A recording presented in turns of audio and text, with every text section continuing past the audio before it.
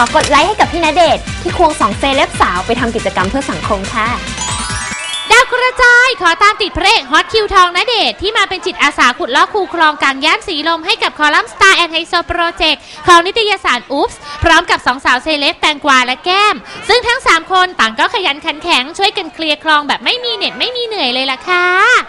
วันนี้รู้สึกดีใจครับ ถือว่าได้ช่วยเหลือสังคมนะฮะ ก็แบบว่าช่วยกันขุดลอกคูคลองครับผม เพราะว่าจริงๆแล้วเนี่ยมันเป็นพวกแบบเศษขยะ เศษพลาสติก เศษแบบว่าเอ่ออาหารหลายๆอย่างที่แบบว่าคนในชุมชนที่แบบว่าเอออ่าจะขาดความรับผิดชอบไปในส่วนหนึ่งก็แบบว่าได้ทิ้งลงไปไงก็อยากจะฝากไว้ด้วยแล้วกันขอให้รักษาตรงนี้ไปด้วยเออสนุกไหมครับ สนุกไหมครับ สนุกสนุกมากเลยรู้สึกดีค่ะตื่นเต้นเป็นจิตอาสาครั้งแรกด้วย แล้วก็ได้มาทำกับนาเดชน์ค่ะรู้สึกดีใจมากเลยนะคะ เพราะว่าก็เคยได้เป็นจิตอาสามาก่อนแล้วแล้ววันนี้ได้มาทำกับนาเดชน์อีกด้วยค่ะ ส่วนช่วงนี้ใครดูเป็นต้องกดไลค์ใช่เลยอาลาเล่นขำๆสเก็ตดาว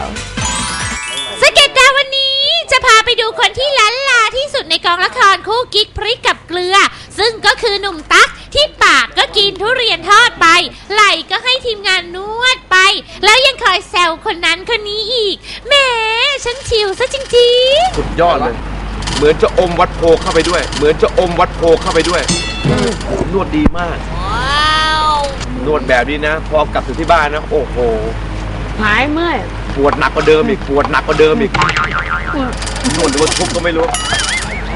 แก๊ปหล่อมาก โอเค นี่ แม่ของแก๊ปแม่ของแก๊ปมาดูแลลูกวันนี้ ชื่อกุ๊บกุ๊บชื่อกุ๊บกุ๊บ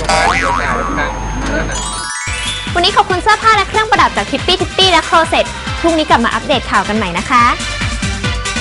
สวัสดีค่ะบริษัท